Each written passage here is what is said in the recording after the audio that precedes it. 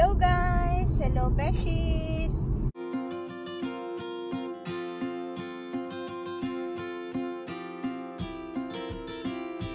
Today is 4th of July and uh, papunta kami ngayon sa bilihan ng mga cable. Pagkatapos noon, pupunta kami ng Burger King. Bibili na namin ng food yung mga bata. Kasi pupunta ulit kami sa bahay. Ayusin nung asawa ko. Itatry niya yung yung cable na bibilhin namin.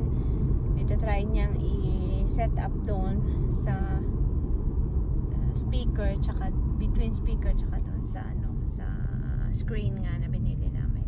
So update ko ulit kayo mamaya guys. Bye. Ayan siya guys. So diyan kami bibili ng cable. Hey daddy. Hello guys. Hello beshies. Welcome back to me. Well, as you can see, nagpalit ako ng jacket kasi parang malamig siya ngayon sa labas. Well, nandito na kami sa labas. Pero, I mean, is labas talaga. So, ma malamig siya guys kahit summer. So, ito yung tinatawag nilang Swedish summer.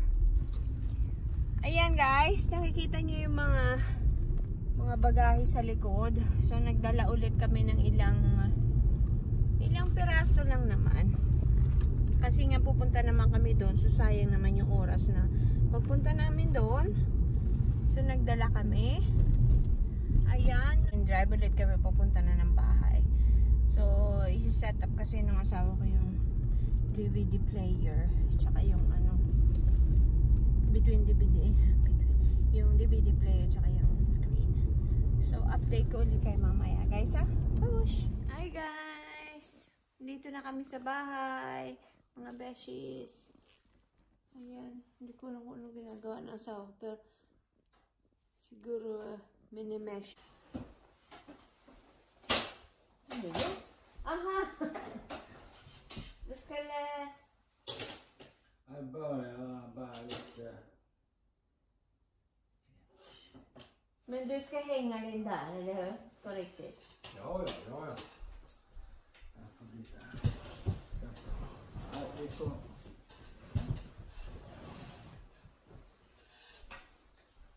väl ganska precis fyra.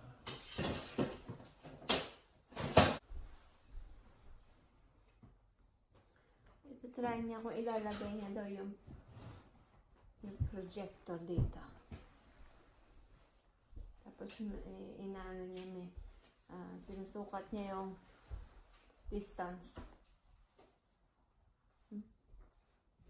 Tinatamad ako guys. Ano ba yun? Ano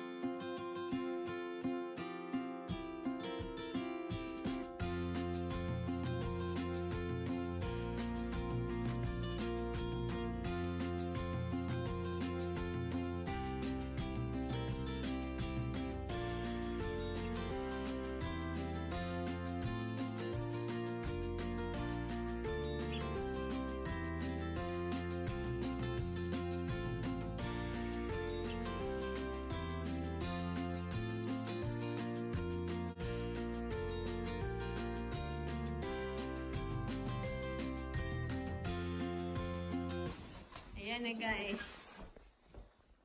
Ayan na yung projector. Ayan, tinry niya. Ganyan niya isasabit yung projection screen. order yung projector is ihahang na daw dyan sa taas. So, ngayon tinatry niya lang yung distance between projector tsaka screen. Hulong är avstånd mellan eh, projektor och skärmen, eller duken.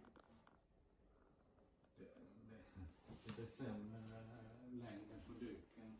Men hur lång? är- Man ska börja med en och en halv, ungefär tre och en halv, fyra meter. Prova sig fram vad det blir bäst. Aha, sabi niya 3 to 3 to 3.5 eh, meter yung ano distance ng ano project projector tsaka screen. So depende pa rin daw yun pero at least mga ganun yung distance.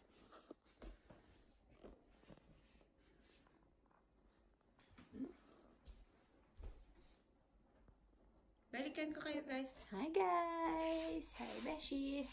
Ako naman, yung ginagawa ko as usual, yung mga damit na hindi ko nagagamitin is itatabi ko na siya or baka may mga damit akong pwedeng gamitin ni Alexis. So, papamana ko na siya sa kanya. So, depende. Or itatabi ko yung ayaw niya. So, uh, ang plano ko is separate ko lahat, segregate, para ipakita ko sa kanya para makapili siya ng gusto niya. Yun guys. So, keep on watching guys. Stress ako ngayon, hindi pa ako nagsisimula kasi as in lipat to the max na kami. So, gusto ko pa ayoko ma-stress guys. Beshies. Gusto ko relax lang. Ano lang, kaya natin yan guys. Beshies. Sana guys, hindi kayo magsawang panoorin yung mga vlog ko guys ha. Kasi gusto ko lang naman na i-share sa inyo yung buhay namin. Kung ano ba talaga yung buhay ko dito sa Sweden. Hindi siya, hindi siya madali guys. Hindi porke naka, nakapangasawa ako ng uh, taga-ibang bansa ng foreigner is okay na yung buhay mo. Yung ibig sabihin is hindi lang ako yung nakahiga sa segaan, nag-aantay ng ng ano, ng allowance or something, no? Nagtatrabaho ako, guys. Saka ayoko yung ano, hindi ako yung tao na aasa. Aasa na sa, sa ibang tao kasi mas maigi mas maigi pa rin na yung ik- na nagtatrabaho ka, kumikita ka ng sarili mong ano, ng sarili mong pera, yung pag may gusto kang bilhin, hindi ka mahihiyang humingi kasi sarili mo naman yun eh.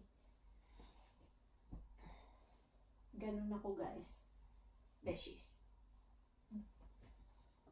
Oo nga pala, oh, kayo guys, ano ano sa palagay nyo? Ah, ibig sabihin, ano, an, ganun din ba kayo? O yung halimbawang gusto nyo rin magtrabaho para at least kung may gusto kayong bilhin, may gusto kayong bilhin sa mga anak nyo, kung may anak man kayo, yung gusto nyo may, may sarili kayong pera. Just comment down below guys. Ayan, papakita ko lang guys yung mga na separate ko, na segregate ko ng mga damit. Well, back to you later guys, para matapos ko na to. Bye! Hello guys! Hello beshies! Welcome back to me! We're on the way na kami pa uwi and time check is 5.48 in the afternoon. Medyo maaga kami ngayon. Ito kasing asawa ko is babalik pa daw siya dun sa bahay guys. Kasi nakalimutan niya yung charger ng. So, uwi siya, kukunin niya yun kasi gusto niya daw i-try yung ano, yung screen kung maganda ba yung kakalabasan ng picture pag nanood ng ano, film. Ay, naku. So, babalik siya. Hindi ko alam kung sasama ako or stay na lang ulit ako ng bahay. Tinatamad ako guys. Ang sakit na naman ng ulo ko today. Naka, nakaidlip ako dun sa sa bed, siguro mga 10 minutes. Ewan ko, pagod na pagod ako. Kala mo yung yung natrabaho ng isang buwan na walang day off. Ganun yung yung feeling ko today. Pagod na pagod ako. Hindi ko alam. Nakatulog naman ako. Well, natulog naman ako ng 7 hours kagabi.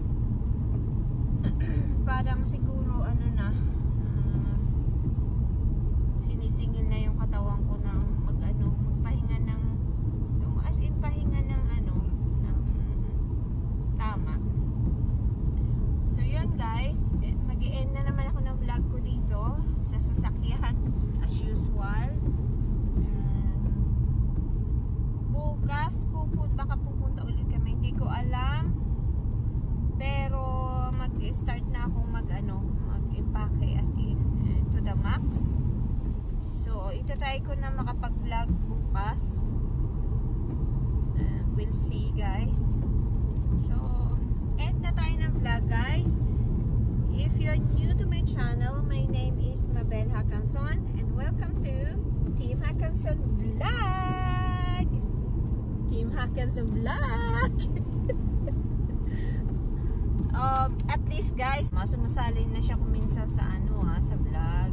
O, di ba? Proud tayo kay daddy.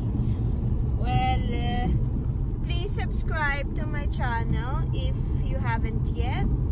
And hit the notification bell para hindi kayo late sa mga incoming videos ko. And please like and share my videos. Comment down below kung may gusto man kayong ikwento or may gusto kayong sabihin. I would like to hear your story, guys. So, see you on my next one, guys. Thank you for watching. Bye. Safe and be.